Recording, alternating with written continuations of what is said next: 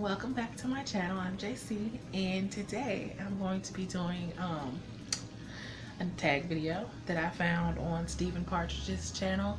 It's the Anxious Author Tuber or Anxious Tuber tag and um, oh, like a lot of people deal with anxiety as well and so I thought this tag was interesting to do and I'm going to read the questions straight from my phone so pardon me for looking down continuously. Um, question number one. Did you think about opening or starting your channel for months or even years? Not years but definitely well maybe a year. Um, I think I've been watching AuthorTube for a good well it might have been a good six months before I started interacting in the comment section. And then maybe another six months of interacting in the comment section with the other author tubers um, before I actually jumped the leap and started my own channel. So yeah, about a year um, lurking around on AuthorTube before I thought about starting it because yes, you guessed it, I was anxious about whether anyone would actually care what I had to say. So, question two Do you ever feel guilty for not filming, but too comfortable, too uncomfortable, excuse me, to do so? But it makes you feel even more guilty. Um, I don't feel guilty for not filming because I tend to film batch film.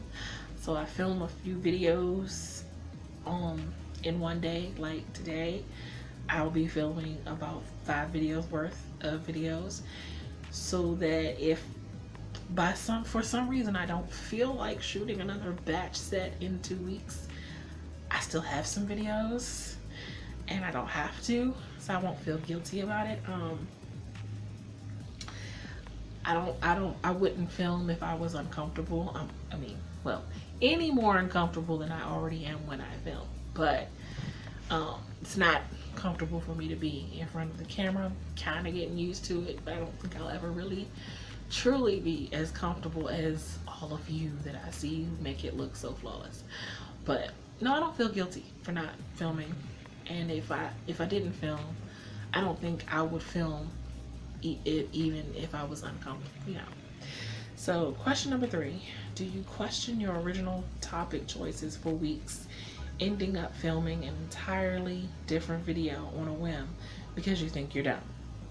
Um, I do question the topics or the things that I'm going to film for maybe not weeks, but maybe a week.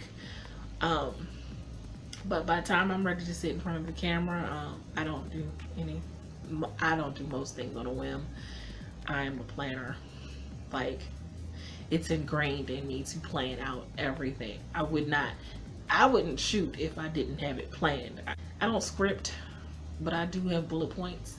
And if I don't have it planned out, if I don't know what I'm going to shoot, I'm not shooting it. So I do not shoot videos on whim. Um, yeah, Number four, do you struggle opening up to other YouTubers for reasons such as I'm not interesting enough, I don't have anything to say, they'll think I'm here for clout, etc. Um, yeah, actually, I, I kind of do. Um, like interacting with the other author tubers, but some of the bigger author tubers, um, for lack of a better word, intimidate me and not I'm not saying that in a negative way. They didn't do anything negative towards me or anything. They're very welcoming very lovely. Um, I've been invited to do live streams, which I believe I'm going to take a couple of them up on soon. Um, I did start a StreamYard account, so dabbling my toe in a little. um, but they intimidate me, and some of them, the a couple of the bigger ones, definitely bigger than me, my channel. Um, who have extended an offer for doing live streams. I, it's not that I don't want to do it with them. It's it's just like I don't. I guess I get the feeling that I don't. Hmm, how do I put this? I don't want to do anything to mess up their channel or their audience or their fan base or their, you know, I don't want to make them look bad. I don't, I don't want to bring them down. Think you get what I'm trying to say. But uh, it's intimidating when the bigger ones um, interacting with them because, you know, it's almost like meeting a celebrity in some senses, but um, they're YouTube celebrities, I suppose. But I'm, I'm working on it and I'm trying to get over it and not obsess about it or not overthink things so much because I tend to do that. It's part of my anxiety. Okay. Question number five. Do you spend more time preparing for a video, worrying about your looks, what you have to say, your background, or anything else than actually filming and editing? Um, hmm. No, I, I think, well, no, I worry about more, I, I worry more about whether my video is actually going to mean anything to anyone. Um, I, I think that's what I worry about more. If I'm putting out any anything or putting out parts of myself that will actually inspire someone or mean something to someone, that that's kind of what I worry about. I don't know if you've noticed, but I don't do makeup. Um, I, I don't do it at all, period. I don't wear makeup at all. Um, not to say that I haven't, but I just, I don't anymore. Um, I haven't for over, well over a decade. Um, I just don't feel the need for it. And it's broken out my skin more than necessary. So I, I just don't. And hope I look beautiful enough as I am. And if not, I don't know what to tell you. I am who I am. I don't, so I don't waste time on, you know, the, I don't put makeup on. Um, I didn't even think about putting makeup on to do videos because that would not be authentic to who I am. I don't wear makeup in real life. I don't wear it at all. Not even special events or anything. I might wear a lip gloss. That might be the extent of it. So I, if I want to be authentic to you guys, then I'm going to present myself authentically. I do do my hair because I do try to look presentable when I go out hair wise. So I do do my hair for you guys. Um, and sadly it's just in the ball because when I wear my hair out it gets really frizzy and really really big and um, yeah I don't like it like that. I keep trying to fight the urge to perm my hair so it could be completely straight which is how I like it but perm breaks my hair off so that was too much information. But it, it is truth and it's authentic. Question number six. Do you sometimes black out during filming not saying anything in front of the camera because you are suddenly questioning your entire life choices and wondering why you ended up here? I don't black out.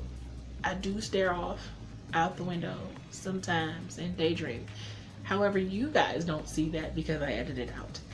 Um, so I know I don't I don't black out. I, I do daydream a little, and I make sure to edit that part out so I don't look crazy. Question number seven. Have you ever cringed so much about a video you've not posted it, deleted it, buried the memory card in your card and dug it out because it's expensive or and cried for a few hours. No. Um I I, I don't know if I've cringed at videos that I've recorded and edited. Um there are videos that I have not been thrilled with and felt could have looked better or done better or I could have edited better, but I didn't let it keep me from posting it. I just kind of said, um, it is what it is and put it out there. People like it, they like it. If they don't, they don't. I'll work on getting better for the next one. So that, that that's how I've taken it. Um, question number eight. Do you watch or even rewatch your video just to insult yourself in your head Or on the opposite, do you refuse to do so because you know you'll end up insulting yourself in your head? I do rewatch my videos before I actually upload them because I want to make sure um, I'm not a video editor. It's not my trade. I'm not. I'm just learning it for the purpose of YouTube. So I'm I'm trying to get better at on it as I go. So when I edit my videos, I do rewatch the, the, the video in its entirety before I upload it because I want to make sure that it flows well enough. It's not going to be perfect because again, that's not my trade, but I want to make sure it flows well enough. I want to make sure I didn't leave anything in that I didn't intend to leave in or that I took everything out that needed to be taken out um, without taking out all of my mistakes because I'm human and to take out all of my mistakes would be inauthentic. So I do leave some of my mistakes in there because it's me. Um, I don't insult myself though. I do acknowledge where I could have done better or I could have said this better or I could have, you know, I, I analyze to try to work on being better for the next time. So Question number nine Do you feel guilty when you promote your work on social media? Absolutely. I'm the worst at promoting myself. I can promote everyone else all day, every day, multiple times a day. I, I can promote my friends' work um, or uh, even other author tubers on here. I love promoting their work. Um, but mine, when it comes to me, I kind of it's like, oh, oh yeah, yeah, my stuff. I forgot I have stuff. Um, I, it feels so weird talking about myself and like pumping myself up and and I know it's what I have to do because as a person who's going to be a self-published author, if I don't talk about me or my stuff, who else will? If I can't do it, who, who's going to? But it does feel weird. It feels a little egocentric and um, I know that it's not it's just in my head but that's that's usually where my train of thought goes. It's like I can't talk about me. So I know it's something I need to get out of but it's easier said than done. I'm working on it though.